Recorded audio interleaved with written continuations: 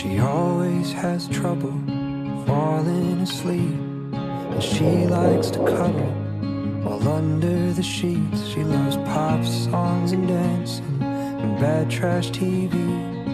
There's still a few other things. She loves love notes and babies and likes giving gifts. Has a hard time accepting a good compliment. And she loves her whole family all of her friends. So if you're the one she lets in, kiss her with passion as much as you can. Run your hands through her hair whenever she's sad and when she doesn't notice how pretty she is. Tell her.